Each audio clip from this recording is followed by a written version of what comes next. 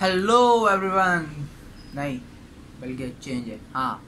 क्या हाल है ब्रो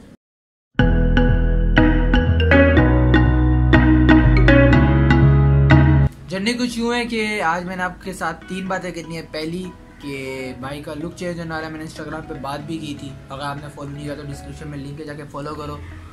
और दूसरी, जो आजकल कराची के हालात नहीं, पाकिस्तान के हालात चल रहे हैं। कह सकते हैं पाकिस्तान के। और तीसरी के कुछ टाइम पहले मैं वीडियो शूट के लिए गया था, उस मतलब भी थोड़ी बहुत बातें हैं। तो स्टार्ट करते हैं पहली बात से।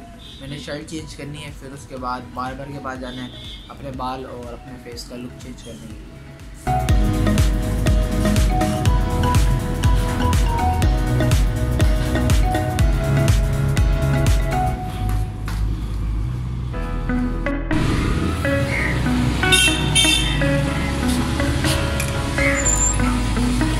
अस्सलाम अली भाई तो ये नोटिस लगा हुआ और लिखा हुआ इस पर कि भाई अली भाई यहाँ पे शेव नहीं करते। मैं आया वैसे शेव करवाने के लिए था, बिल्कुल क्लीन बट अब अली भाई के ऊपर है, वो जो भी लुक देंगे, वही अच्छा लगेगा। क्योंकि मैं शुरू से नहीं के पास से कटवाता आ रहा हूँ।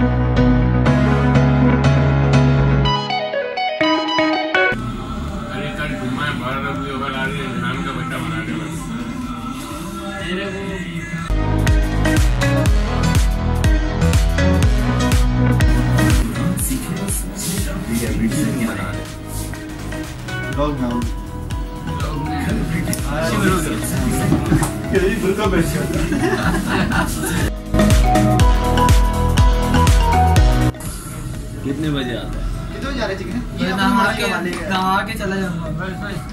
बस हो गया? नहीं और क्या करेगा? अच्छा लग रहा है। तो मैं तो घर आ गया हूँ बाल कटाने। अब मैं जा रहा हूँ नहाने। तब तक पीछे कुछ वीडियोस हैं। आप वो देखो फिर उसके बाद बात करते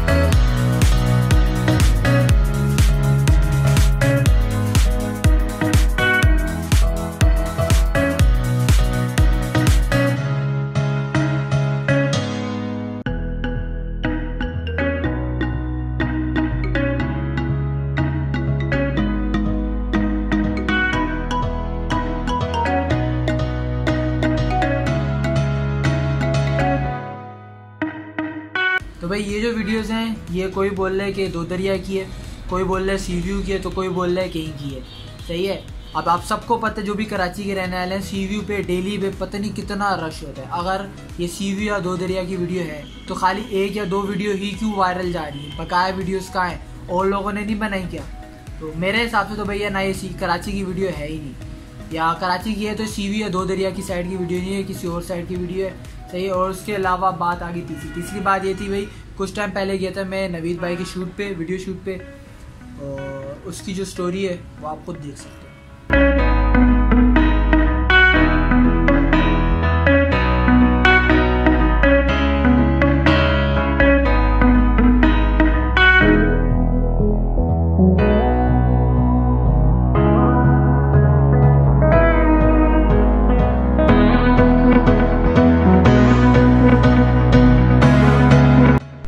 भाई जिस बाइक में सफ़र कर रहा था, वो बाइक रनिंग वाली थी। जिसकी वजह से हमने जैसे एयरपोर्ट क्रॉस किया, उसके बाद वो ज़्यादा गर्म हो गई थी।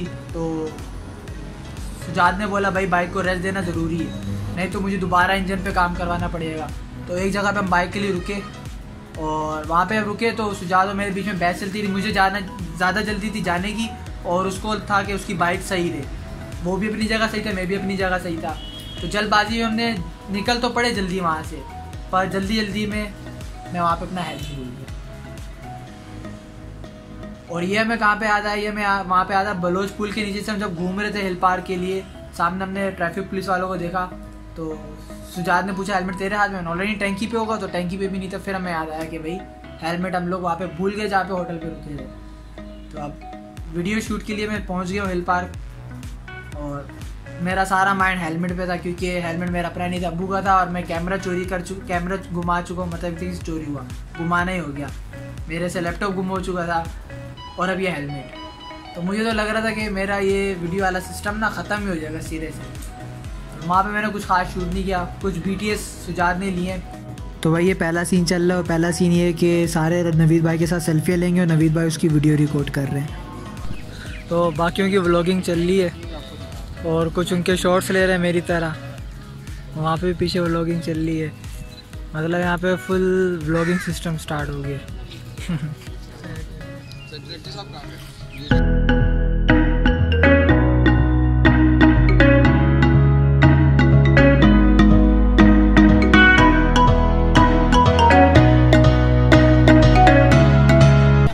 से आया और अभी फ़िलहाल वीडियो बना रहा हूँ। और शॉर्ट चल रहा है फ़िलहाल। ये नवीद भाई साथ खड़े हुए हमारे। और कैमरा लगा है सामने पर दिखा नहीं सकता कोशिश। शायद ये आगे अपना चैनल समझ गए? चैनल सब्सक्राइब यहाँ पे चूरन दिख रहा है। चैनल के नाम का बिल आखिर जब हम लोग वापसी के लिए रवाना हुए तो मेरे माइंड में था और सुजात ने भी यही बोला था कि भाई हम लोग वहाँ पे जाएँगे होटल पे और जाके हेलमेट का पूछेंगे। सुबह ये हेलमेट यहाँ पे भूल गए थे। और ये शुक्रिया खान भाई के सामने पाकिस्तानी शर्ट में खड़े हुए जिन्होंने संभाल के रख लिया था। हेलमेट मिल जाने के बाद जान में जान आई। तो बस अब तक की ये स्टोरी थी देखते हैं सुनते कानों को। भाई खुद हाफिज़, मिलते फिर।